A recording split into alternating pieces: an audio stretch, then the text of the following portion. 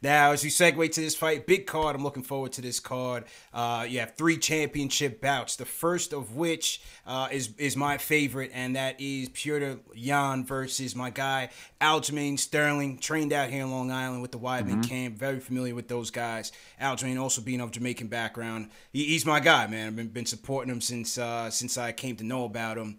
Yan is a champion coming yep. off of a uh, brutal, brutal um, beating of, of Jose Aldo. I thought they should have stopped that fight way earlier. But I agree. You know, um, that's that's neither here nor there. What do you think Aljamain needs to do to walk out of there the champion this weekend? Man, well, Aldo's on a roll. Like his his last fight was yeah. a, a, win over Corey Sandhagen, who I think very highly of um, and he made it look relatively easy. Mm-hmm. And I think that there is a a path to success if he tries to replicate that in the sense that if you're a grappler like Aljo and you're you're unconventional like he is, you know, his nickname is the Funk Master yeah, because he's right. kind of funky. Yeah. Um, in the early portion of the fight, everyone's dry.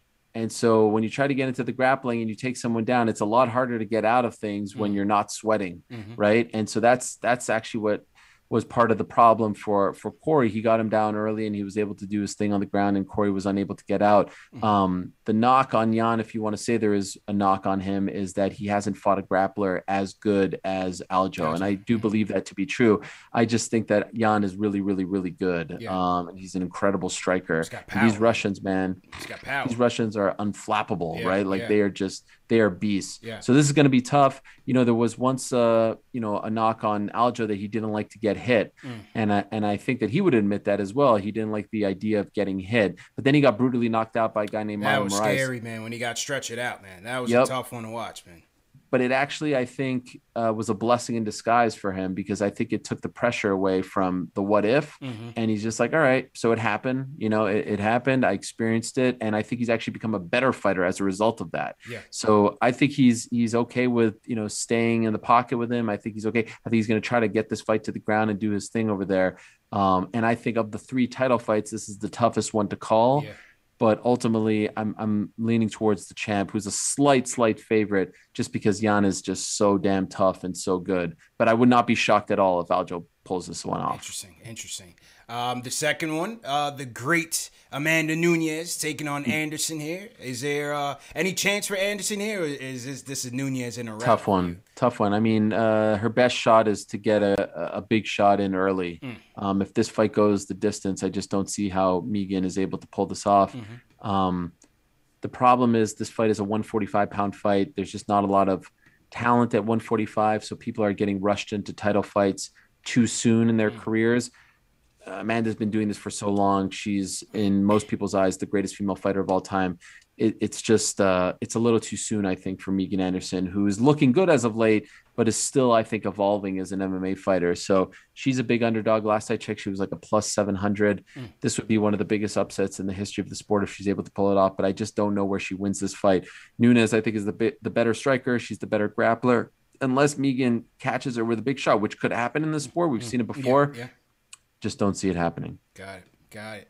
Uh, last one, the main event. We got the last airbender, Israel Adesanya, checking in against uh, Blachowicz. What, what, do you think about this fight tonight? I'm this is a huge one. Um, Izzy's trying to make history. First guy to hold the 185 and 205 title. There have only been four fighters in the history of the sport to hold two titles at the same time. He's the 185 champion moving up to 205. Mm-hmm. Um, Yan doesn't get the respect that he deserves because he won the belt but he didn't have to beat Jon Jones, who had been the champion right. there for so long. Right. But this guy is really, really tough. I think we're going to learn a lot um, at the weigh-ins on Friday because the mm. fight is at a 205 fight.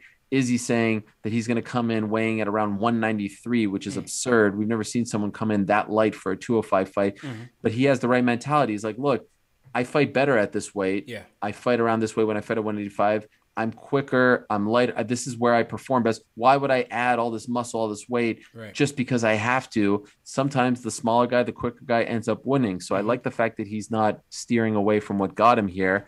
Uh, ultimately, I'm going with Izzy because I just think he's an incredible generational talent yeah. who uh, is actually only getting better over time. And I'd actually argue that he's one of the best athletes in the world today, like from a from a talent mm-hmm. and from a resume standpoint. This mm-hmm. guy is 20 and 0 as a MMA fighter, 75 and 5 as a kickboxer Wow. and five and one as a pro boxer. You do the math.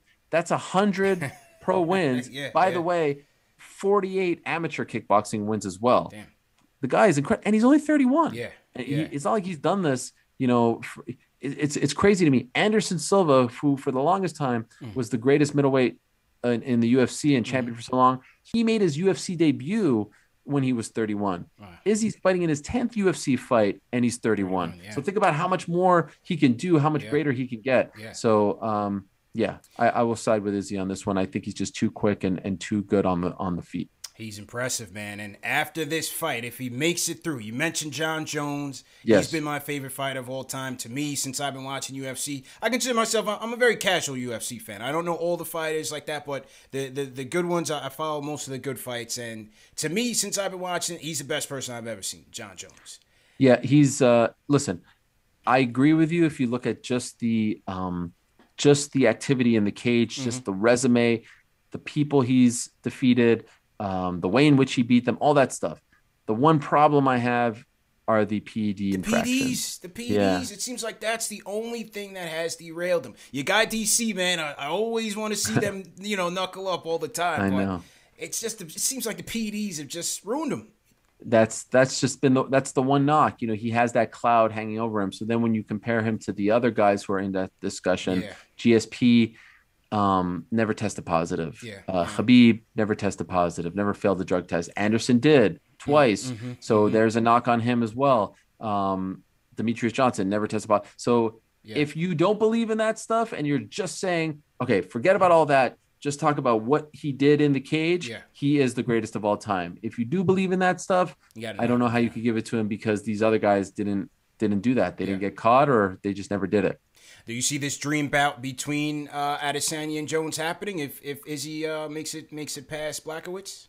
At this point, I don't see the path to it because Jones has moved up to heavyweight, Mm-hmm. and they've already said that he's going to fight the winner of the Francis Ngannou Stipe Miocic title fight on March 27th. Mm-hmm. So, I mean, I guess crazy things can happen where one guy gets injured and Izzy wins, and and they change plans. But right now, there really isn't a path to it because just by Izzy winning this 205 belt, which he held for almost a decade, mm-hmm. doesn't mean he's going to fight Jones next. So let's say Jones fights. It could happen, but I don't see it happening before 2022. Basically, just but if you just look at all the pieces, and and even Izzy told me he's going to go back down to 185 after this fight anyway. So I would love for it to happen. I actually think it should have happened now. Like Yeah, I think this yeah. should have. I think this weekend we should be watching Jones versus Yeah. Izzy. I think they they're saying, oh, we'll do it in the future. You never know what's going to happen in the right, future. right, like you right. got to strike while the iron's hot. Right. But you know, so it could be one of those great what if fights that we Mhm. never see. But you know, if it does happen, I don't think it happens in 21. Yeah. I hope we see it, man. That would be a dream fight. It would be incredible, man. Like they could sell out any stadium in the world. They could go to they could go to football stadiums. They could they could that that's one of the biggest greatest fights that they could put on. Yeah. And what's great about it is they freaking hate each other. Those guys like they Right, hate right, each other. right. And and what's better Yeah. than that? Like in the fight game, you love that, right? Yeah. Like no, The trash talk would be amplified. It'd be great. It's great. It, it It's would great. be great.